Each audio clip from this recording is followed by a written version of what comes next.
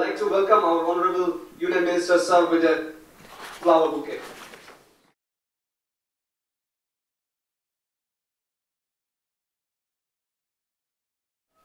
So my Honorable Minister, Mr. Badal Chaudhary, Mr. Manik De, Mr. Shankar Prasad Datta, Shri Jitendra Chaudhary जी दिलीप सरकार जी और यहाँ पर हमारे बीजेपी के विप्लव देव जी उपस्थित है, हमारे बीजेपी के प्रभारी, यहाँ पर यो भी मज़बूत मौजूद है।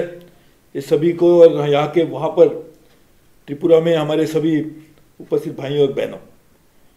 आज हमारे लिए खुशी की बात है कि एक नई ट्रेन की शुरुआत की जा रही है, जो अगरतला और उदयपुर के बीच में चलेगी। और उसके साथ साथ ये ट्रेन नॉर्थ ईस्ट के अलग अलग इलाकों में कनेक्टिविटी देने का काम की जो शुरुआत हम लोगों ने की है, उसका और एक अगला कदम होगा। हम जानते हैं कि पिछले नरेंद्र मोदी जी प्रधानमंत्री बनने के बाद हमारा पूरा फोकस नॉर्थ ईस्ट के डेवलपमेंट के ऊपर है। पिछले दो साल में हम लोगों ने जो पहले एनुअल आउटले 2121 करोड़ का हुआ करता था, पिछले यूपीए के सरकार में, उसको बढ़ाकर हम लोगों ने पाँच हज़ार तीन सौ सोलह करोड़ रुपये कर दिया है। और सिर्फ़ इसी साल में पाँच हज़ार तीन सौ चालीस करोड़ रुपया सिर्फ़ इस साल में सोलह सत्रह में हम लोग करेंगे और अगले साल में भी बजट तो आएगा, इसके बाद मैं नहीं बोल पाऊँगा, लेकिन उससे भी ज़्यादा निवेश हम रेलवे में करेंगे नॉर्थ ईस्ट के लिए। उसी तरह से पिछले दो साल में 109 किलोमीटर का कुमारघाट अगरतला गेज कन्वर्जन पूरा करने का काम भी हम लोगों ने किया और उसके साथ साथ पाँच नई गाड़ियाँ हम लोगों ने इसी एक साल में नई शुरुआत की है। मैं मानता हूँ ये अपने आप में बहुत बड़ी कामयाबी है। कुमारघाट, अगरतला रेलवे लाइन, जो पूरी त्रिपुरा के जैसे लैंडलॉक राज्य के लिए एक लाइफ लाइन बन सकती है, उसको भी डेवलप करने के लिए हम लोगों ने नई शुरुआत की है, काम पूरा हो रहा है। उसके साथ साथ मैं जब त्रिपुरा में जुलाई में आया था, उस तरफ़ वहाँ पे डीजल की बहुत बड़ी शॉर्टेज थी। हमारे साथियों ने बताया सम्मानित मुख्यमंत्री जी ने बताया तो हमने तुरंत रो रो करके नई शुरुआत की रेलवे की उससे जो बहुत कठिनाइयाँ लोगों को आ सकती थी और और बड़ी समस्या खड़ी हो सकती थी। एक शायद इमरजेंसी की जैसी स्थिति पैदा हो सकती थी उसको टालने के लिए हम लोगों ने काम किया और उससे मैं मानता हूँ बहुत बड़ा लाभ लोगों को हुआ होगा। इसी तरह से त्रिपुरा में 112 किलोमीटर नई line long line broad gauge line बनाने का काम Agartala to Sabroom is in full swing project was sanctioned way back in 2009 हम लोग उसको पूरा करने के लिए करीबन 1200 करोड़ रुपए का भी लगा रहे साथ ही में चौवालीस करोड़ लॉन्ग की अगरतला उदयपुर सेक्शन जो कमीशन किया जा रहा है गुड्स ट्रैफ़िक मार्च लास्ट को, उससे आज एक नई ट्रेन चलेगी। और ये भी त्रिपुरा के जैसे राजधानी में एक सौ किलोमीटर के स्पीड से चलने वाली एक ट्रेन यहाँ पर आएगी, इसका भी लाभ आपको होगा। और ये रहेगी छठी गाड़ी जो हम लोगों ने स्टेट के लिए छोड़ी है।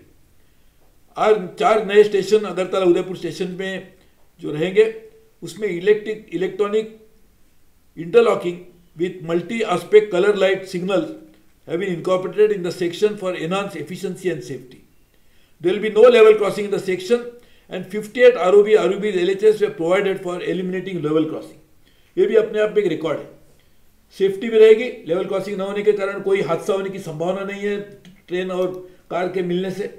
साथ ही में ट्रेन की स्पीड भी बढ़ेगी और लोगों को लाभ भी होगा। और इसके लिए मैं समझता हूँ एक बहुत बड़ी कामयाबी इससे भी आपको मिलेगी। उसी तरह से बाईस बावन किलोमीटर लंबी welded rail laid on concrete sleepers at a density of one six six zero numbers per kilometre plus cushion of three fifty millimetre has been provided as per latest instruction with six hundred millimetre blanketing at a number of location formation treatment has also been done by way of provision of geotextile and geogrids As Udaipur section were located in marshy land, extensive formation and subsoil improvement rehabilitation measures have been carried out by provision of newly fabric, prefabricated vertical trails. This new line will also provide enhanced tourism potential and also which is Sundari temple, which is one of the Shakti pits of India. Now, two of the Shakti pits of the north, northeastern region, Kamakya temple and Tripura Sundari temple get connected with railway line. मैं समझता हूँ, पिछले कुछ दिनों में, कुछ सालों में हम देखते थे कि नई टेक्नोलॉजी यदि लानी है तो देश के और हिस्से में जाएगी और नॉर्थ ईस्ट को तो कब से कब लाश मिलेगी, तब तक वो नई टेक्नोलॉजी को नहीं कहते थे, वो बहुत पुरानी भी हो सकती थी। लेकिन हम लोगों ने अब तय किया है कि पूरी तरह से स्टेट ऑफ़ आर्ट टेक्नोलॉजी का इस्तेमाल नॉर्थ ईस्ट में सभी इंफ्रास्ट्रक्चर क्रिएशन में किया जाएगा। रेल का सबसे बड़ा ब्रिज रेल का सबसे ऊँचा टावर इस तरह के अलग अलग अलग कामयाबियाँ सिर्फ़ नॉर्थ ईस्ट में हो रही है।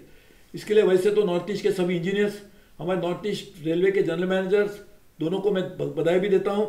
हमारे जग्गी जो जनरल मैनेजर कंस्ट्रक्शन है, उनको भी बधाई देता हूँ और मैं समझता हूँ कि आगे आने वाले दिनों में इससे भी और बड़ी कामयाबी हम कर पाएँगे, ताकि नॉर्थ ईस्ट जो आज तक सिर्फ़ पिछड़ा हुआ इलाका इस तरह से जाना जाता था, वो देश का सबसे आगे आया हुआ सबसे most develop part of India will be the north east इस तरह का उनको एक लोगों की उसकी जान पहचान होनी चाहिए और वो करने के लिए रेल अपना पूरी तरह से योगदान देगी।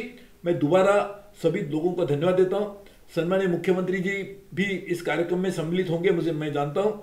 उनके और मेरे कुछ दो दिन पहले ही दिल्ली में मुलाकात हुई थी।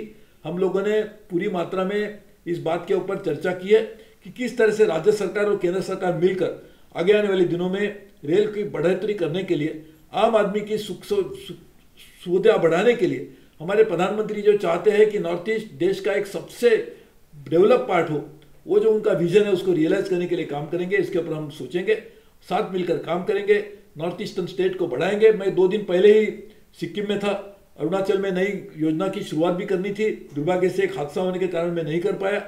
इसके लिए मुझे वो पूरा ट्रिप आधा छोड़ना पड़ा, लेकिन हमेशा मैं नॉर्थ ईस्ट में आता रहा हूँ, आता रहूँगा।